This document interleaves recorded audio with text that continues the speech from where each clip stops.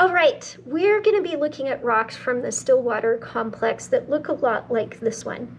Notice how chalky white we see this surface is, which can be really useful for seeing a particular, uh, a particular uh, texture in this rock. However, we want to be looking at the fresh surface. Now, when it comes to understanding these ferromagnesian minerals and identifying them, it's a huge challenge. And that's because previously you had examples that were nice and large, like this. Okay, now in spite of the color variation of these minerals, these are all pyroxenes.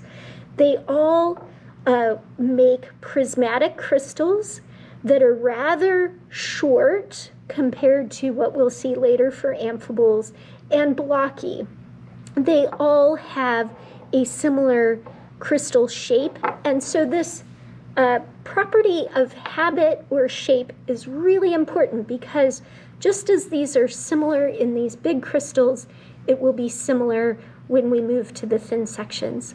The other thing is uh, we see a really nice cleavage face here. Hopefully that is reflecting at you of this one single crystal. That is one single crystal.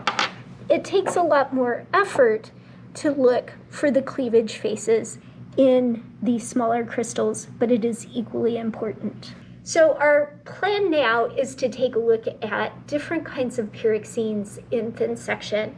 And I have here two different samples also from the Stillwater complex.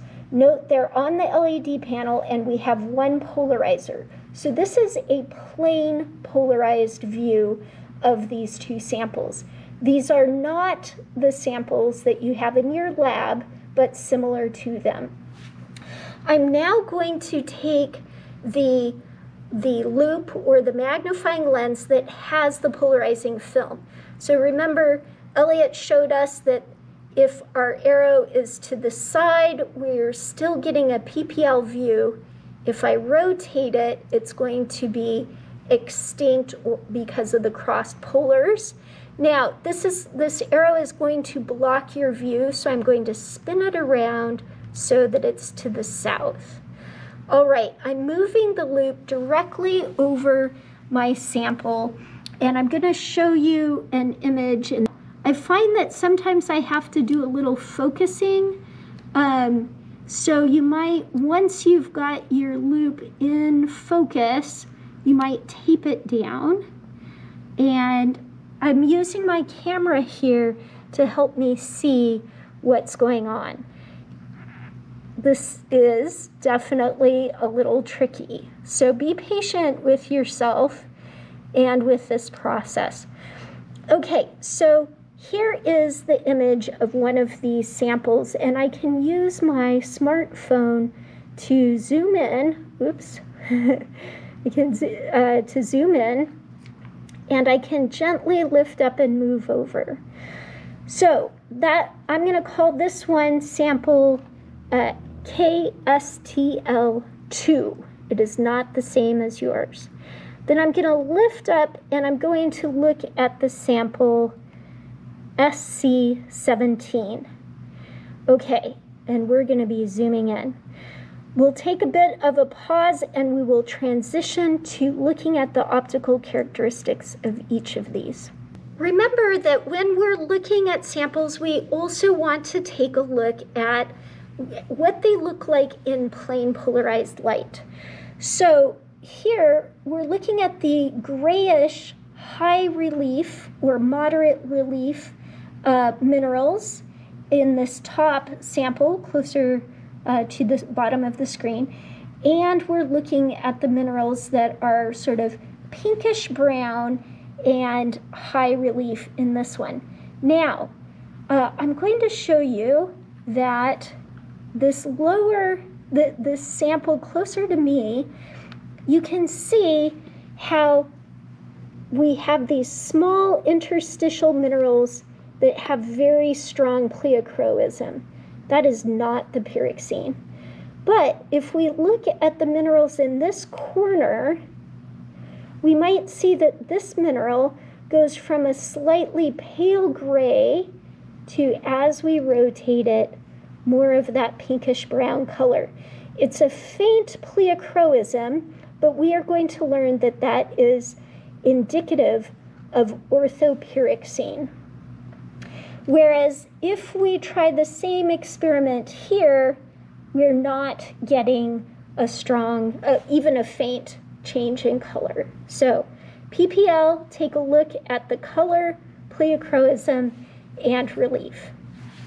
So now we're going to look at the same sample that showed the slight pleochroism, but we're going to look at it in crossed polarized light.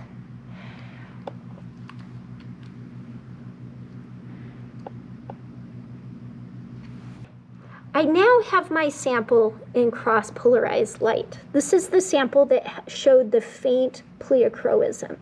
And I want to point out to you these grains. We're not looking at the interstitial bit. First of all, notice that we've got some really dark bits with jagged edges. Those are where the mineral was polished away. Those are holes created during the thin section making. I'm going to zoom in and focus on these two examples. Okay, notice, how would you characterize the interference colors here? High third order, second order, or first order?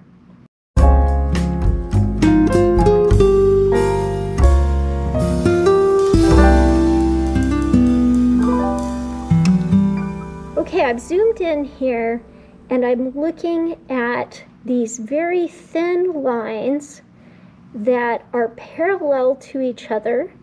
They do not change in thickness, even though they do not penetrate through the whole crystal. These are cleavages seen in thin section.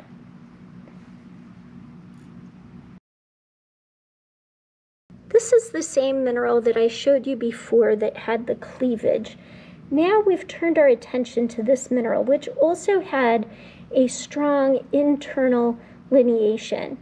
And what I've done is that now I, I picked up my lens and I rotated my thin section until the crystal was extinct. Remember the extinction? So what I'm trying to show you now is that when this mineral is aligned so that its internal um, sense of lineation is north-south, just like my upper polarizer, I have parallel extinction. This part of the mineral is dark. This is one of the features of orthopyroxene. When we're looking at extinction and interference colors, this is going to be tricky for us because we ideally need to be able to hold on to the edge of our thin section and watch our thin section at the same time. With our microscope stage, this is very much easier, but perhaps you can see how I am changing the orientation of the thin section and I'm seeing the orthopyroxene go from um, extinct to uh, no longer extinct. So the one that I was really looking at is this one. We see it has these uh, mo gray mottling that's showing us a linear fabric. And when we line that up north-south, the mineral is extinct. In other words, it is showing parallel extinction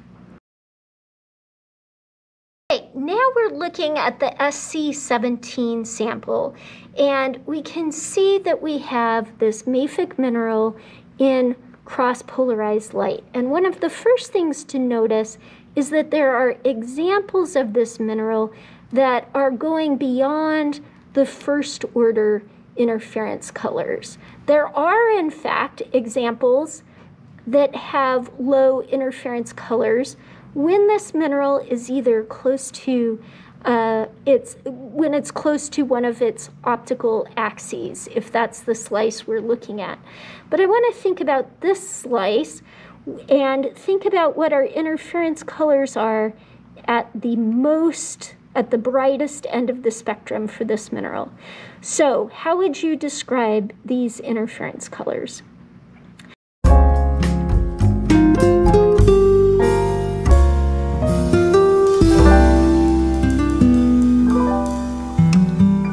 Next thing I want to take a look at is I'm noticing here that this mineral has its outer grain showing a slightly elongated shape.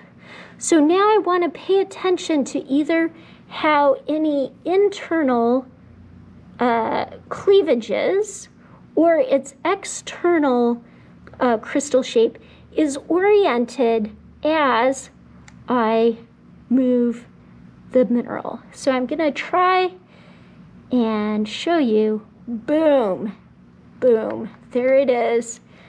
Notice how this mineral is now extinct, and yet its external form is inclined. It's not lining up perfectly with my phone or the orientation of the polarizer. This is showing us the inclined extinction of clinopyroxene. Okay, we're looking at two clinopyroxenes in sample SC17. Um, so we see the really nice interference colors in this case. Here, I want to focus your attention on this smaller grain. Notice that it, within the smaller grain, we're seeing parallel bars, but these have a thickness to them. These cannot be cleavages because of their thickness and because we're going to see as I rotate this sample that they um, have a different set of properties to the main crystal.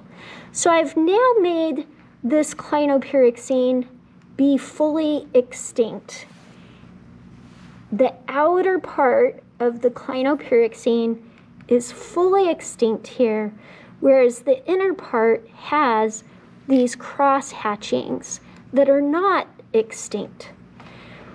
The host pyroxene is inclined. It is a clinopyroxene.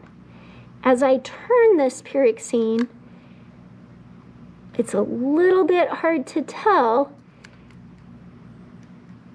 Now, the internal bars are extinct, inclined the other direction. This is also pyroxene, but this is an area where the pyroxene is showing exsolution lamellae. These bars within the host clinopyroxene are a different pyroxene that has exsolved. And we're going to take a look at how this comes to be.